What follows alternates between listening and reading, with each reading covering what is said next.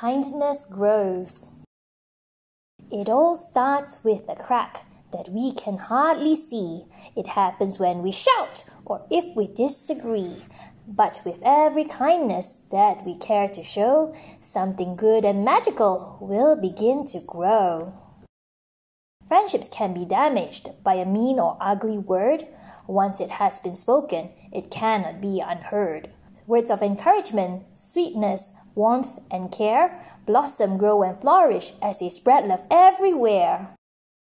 If we leave friends abandoned, sad, and on their own, soon the crack will widen and we'll be left alone. Sharing things with others, making a new friend, may begin a journey we hope will never end.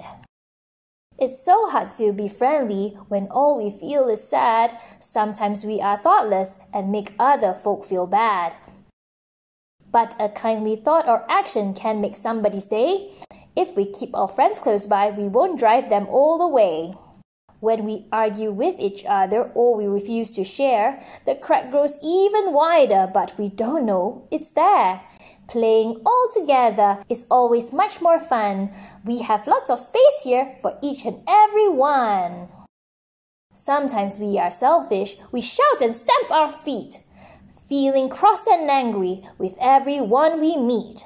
But when we work together, just look at what we can do. Anything is possible when one plus one makes two.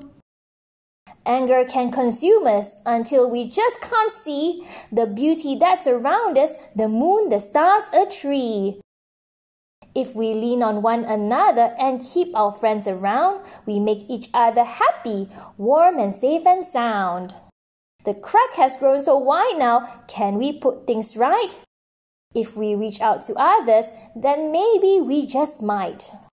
It only takes a gesture, a smile can be the start to spread the seed of friendship and touch somebody's heart.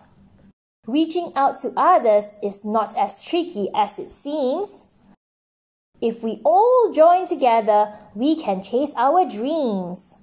Our tree will grow much stronger the more we show we care, built from love and kindness and the friendships that we share. The end.